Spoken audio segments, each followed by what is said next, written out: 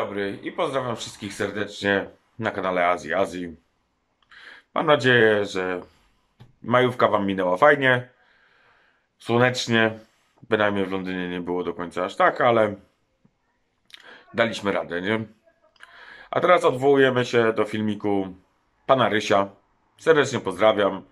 To chyba jedyny z youtuberów, który zrobił konkretną krytykę, a nie hejt.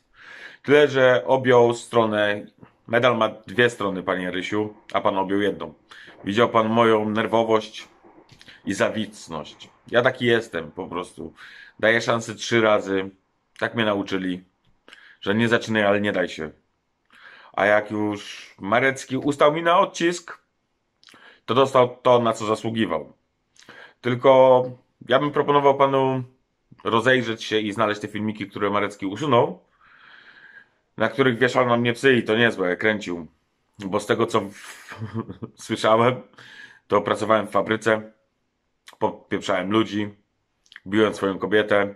Moja kobieta jest z Brazylii, a jest z Portugalii. I teraz to nawet narkotykami handluje. Także ja już sam nie wiem, co ten chłop kombinuje. I jeszcze gejem zostałem, widziałem w komentarzach też. Wszyscy gejami tam zostają u Mareckiego. No widocznie szuka partnera. Także nie wiem, co pana łączy z tą osobą, ale no, ja bym się rozejrzał na dwie strony i pokomentował dwie strony, a nie jedną. Ale tak, miał pan prawo skomentować moje zachowanie, gdzie naprawdę mi się podobał pana komentarz. No kozioł zostałem. Najlepszy jest rude bydle. Powiem wam, że Peter, mój znajomy Słowak, aż mnie pytał, co znaczy rude bydle. I do dzisiaj ksywa się przyjęła, rude bydle u mojego kumpla. Serdecznie go pozdrawiam, bo pewnie będzie oglądał. I zostałem rude bydle, nie? Także mamy przynajmniej śmiech z tego. A oskarżając mnie o Tudomarskiego, oskarżając mnie o usuwanie jakichś filmików, no przykro mi, ale w piątek ja sobie imprezowałem na majówce z moimi przyjaciółmi ze Słowacji i miałem zaje fajnie dobry czas, gdzie pozdrawiam całą ekipę słowacką. A jeżeli ktoś ci usunął ten filmik, gdzie ja go nie widziałem, ja dostałem wiadomości na temat coś ty wrzucał na, na mnie. Mój telefon był czerwony, ale ja miałem wyrypane, bo ja potrafię oddzielić życie prywatne od YouTube'a i po prostu nieraz lubię się pobawić ze swoimi znajomymi, poodwiedzać ich, ponawiązywać normalne relacje, relacje z ludźmi, a nie tylko tu jakieś dziwne spiny na internecie, bo ktoś nie umie się dogadać i szuka atencji. Także przykro mi. A co do usuwania, to jak ja ściągałem Radowi raz filmik, bo udostępnił twarz mojego przyjaciela na internecie i to nie o mnie chodziło, to zeszło mi 48 godzin i dostałem maila potwierdzającego na to. Także nawet teraz, jak B mi ściągnął filmik za prawa autorskie, gdzie prawo cytatu się pokrywa do tego, czyli tak naprawdę no śmiech. Już teraz wiem, co to jest prawo cytatu. Wcześniej nie wiedziałem, co to jest prawo cytatu. Teraz już wiem. Także prawa autorskie z prawem cytatu się trochę mieszają ale też dostałem powiadomienie od YouTube'a, że mój filmik był ściągnięty poprzez B i mogę się odwoływać do tego. Ale to od razu był e-mail. A ty, Marecki, mówiąc tutaj, że ja ściągam filmy ci, wyskakujesz tam, że Rudy coś tam ściąga mi filmy, czy jakieś tam takie w tytułach były. Odpalasz się na live'ach, żeby tylko sztuczną atencję zrobić, żeby ci jak najlepiej to szło, ten internet cały. A co do czego, to obejrzałem sobie kanał, jak to jest cięte. Paweł chyba ma gościu na imię. Jest tam filmik, jak to ogarnąć, przecinek Marecki. I w tym filmie, to już chyba z rok czasu temu ten filmik był puszczony czy coś, jest pokazane kim Marecki jest, jak szanował swoją byłą żonę i wszystkich innych. Także to nie jest tylko mój wymysł, ale już rok temu Paweł na niego nagrał filmik z tego względu, że Marecki tak samo wieszał na nim psy, jak i na mnie powiesił psy. I po prostu dostał to, na co zasługiwał. Bo nie wiem, czy Marecki, ojciec się znęcał nad tobą, czy szef się znęca nad tobą teraz w pracy, że ty przychodzisz cały czas na pełnej bombie i po prostu na wszystkich drzesz kota. Bo na przykład tobie twoje zachowanie mi się nie podoba z tego względu, że no stary, nie masz szacunku dla ludzi niepełnosprawnych. Nie masz szacunku do ludzi pogwałconych. I już nie wspomnę o tym, że wszystkich pod mur byś rozstawił i rozstrzelał. Nie. Mówiąc na wszystkich innych youtuberów, że są tacy i nie inacy, obejrzyj sobie sam swoje wszystkie filmiki od początku do końca i zobacz jaką chorągiewką jesteś i jakie ty poglądy masz, chłopie. A później się dziwisz, że ktoś się odpala na ciebie po prostu do trzech razy sztuka.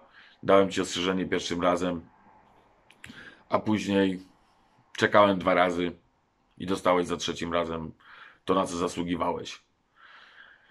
Także ja nie mam zamiaru ciągnąć kota przez tysiąc odcinków z tobą, bo wystarczy na internecie poszukać o tobie i ty po prostu tego kota ciągniesz na każdego przez wiele, wiele lat i pokazujesz zawsze dowody, których nie masz. A na mnie nic nie masz, bo nic o mnie nie wiesz. Także pan Rysiu dobrze skomentował, tylko ty od razu wpiąłeś koment tam, że mój ojciec wykorzystywał mnie w dzieciństwie i za to siedział. Marecki, weź ty się jebni w ten głupi kurwa łysy łeb, bo mnie ojciec nie zostawił tak jak ciebie i gdybyś miał takiego ojca jak ja, to na ludzi byś wyrósł. Wiem, nie jest to twoja wina, że ojciec cię zostawił, czy jakaś dziwna sytuacja ci wyszła w życiu właśnie z rodziną, ale od mojej rodziny to się odpierdol. Tak ci grzecznie powiem, bo chciałbyś mieć takiego ojca. A co ja tu jeszcze mogę dołożyć? No ogólnie nie będę tu się za bardzo produkował dzisiaj na temat nikogo. Po prostu odpowiedziałem na filmik pana Rysia, gdzie serdecznie pozdrawiam pana Rysia. Jest niezły kot.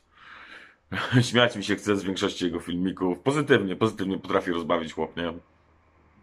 A że teraz poruszył mój temat i Mareckiego, nie wiem dlaczego, ale mam nadzieję, że pomoże mu to, że przyniesie mu to parę wyświetleń, subów, czy cokolwiek, żeby progres był na jego kanale. Jak to on mówi, że błazen internetowy. No my wszyscy coś robimy na tym YouTubie z jakiegoś powodu. Jeżeli mu to, to przynosi na dochód na tych Filipinach, żeby sobie żył na tej emeryturce, to jak najbardziej życzę sukcesów. Jak chce pan rozmawiać o mnie, proszę bardzo. Ja zawsze się odniosę do pana filmiku, bo krytyka w ten sposób można krytykować drugą osobę. A po prostu wieszanie psów na niej nie, nie ma sensu jechanie po, po kimś. Mi tam się nieraz wyrwie jakaś kaczy coś, nie?